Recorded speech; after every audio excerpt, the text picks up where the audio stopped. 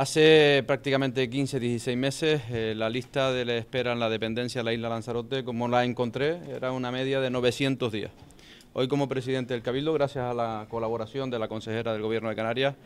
los ciudadanos y ciudadanas de Lanzarote eh, esperan 500 días.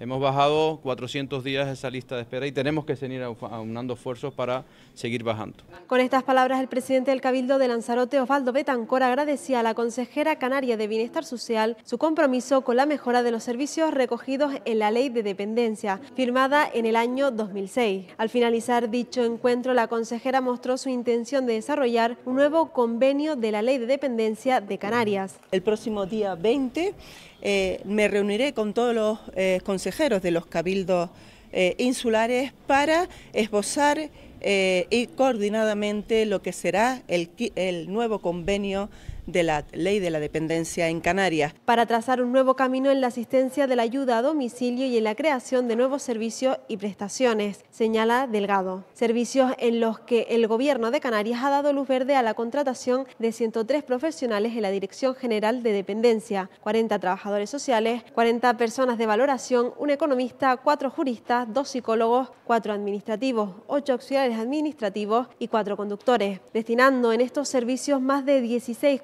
un millón de euros desde este 2024 hasta 2027. Un nuevo convenio en el que ya están trabajando desde el Gobierno de Canarias. De tal manera que podamos empezar a cumplir eh, con lo establecido por la Estrategia Europea de Desinstitucionalización y que nuestros mayores, nuestras mayores, nuestras personas dependientes estén el mayor tiempo posible en su entorno, junto con esa creación de ese nuevo plan de infraestructura sociosanitaria eh, que estamos eh, desde el Gobierno de Canarias buscando eh, la financiación, no solo dentro del Gobierno de Canarias, sino también con el Estado y la reclamación que le estamos haciendo al Estado de las partidas y las fichas financieras necesarias para todo esto. Una apuesta por la mejora en un área que atendió en 2023 en toda Canarias a más de 40.000 personas en situación de dependencia.